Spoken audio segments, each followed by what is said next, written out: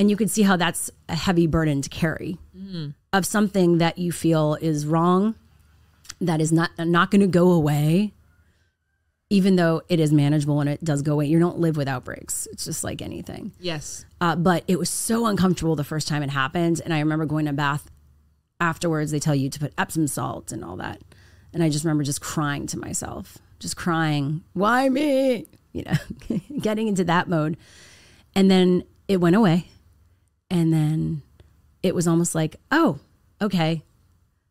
I went into a bit of a denial. And I almost thought I had cured myself.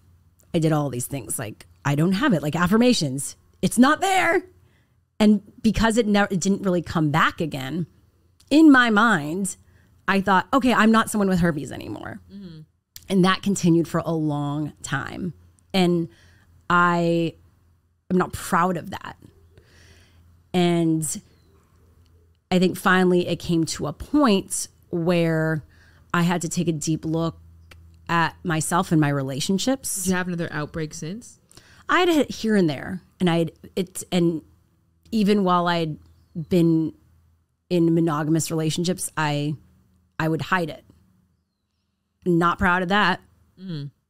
Like, and it was crazy. As in some of those relationships, I would say, "Well, they're not showing up for me. They're not fully, you know, there." Yeah. And yet I started asking myself, well, am I fully there? Am I fully showing up the way I want to be? Like, look, everything's a mirror for what you're putting out there, That's such a great point. Yes. right? And so it was easier kind of as I was younger and going through that. But as I got older and it became clear, okay, I want to find that person I want to start a family with, get married to a partner Yes. for life. I finally confronted the fact that I needed to deal with this and and really understand the trauma because it is a trauma, a physical, mental, and emotional trauma.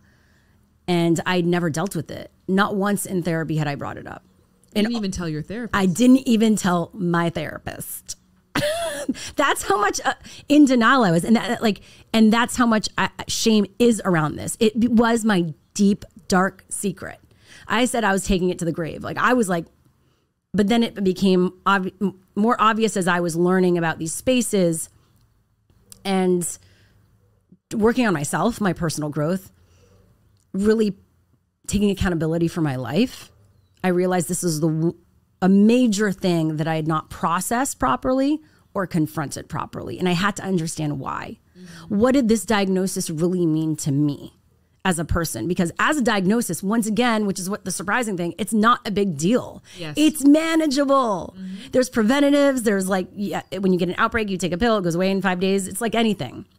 It's not ideal, but it's not going to kill you. But you know what will kill you is your mentality around it, mm-hmm. your emotional health around it. And when I finally reconciled that of what I was feeding myself, the the hurt and pain I was keeping inside of me of Did you think about it every day? a lot of times when it was it was amazing and sometimes I didn't think about it and it was just like, "Oh, I haven't thought about it in a while. That's the thing I have." Okay.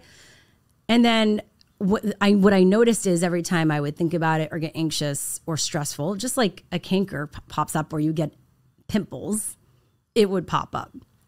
And so for me, a big part of coming to peace with with it was also really being able to understand myself and my nervous system and like what actually brings me peace. Mm-hmm. So you could see how that's a, a huge, beautiful evolution. So there's a lot of beauty in this when I was ready to confront it. And my hope is it doesn't take people as long as it took me, but everyone has their own journeys. But in more people speaking out, they could realize, okay, I got this. And yes, I get to talk about it and feel it.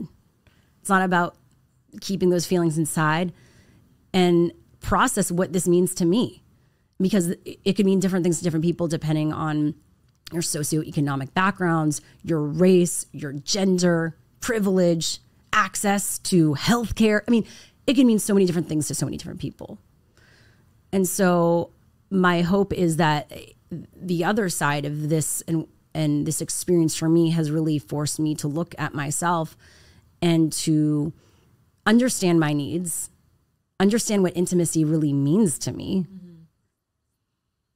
consent, and also understand that it's okay to be rejected. Wow. I think that that is such a powerful sentiment that is unique and a fresh take. I want you to unpack that more. What does that mean? Okay to be rejected? Yeah. A big fear or in approaching this and sharing with people specifically because I'm I'm a cis hetero woman, men, my relationship with men was I won't be accepted and they're not going to want to be with me. Mm-hmm. Let's let's step back. Betrayal in this case that happens when you don't disclose or you're not having these more intimate conversations. It's not just a betrayal to the person you're with. It's a betrayal to yourself. Mm-hmm. Because you are also assuming that someone's not going to love you for all of you. You're so, rejecting yourself. Yeah. You're basically so then yeah, let's get to the next layer of that. How much is it someone else's rejection versus what you've already done to yourself?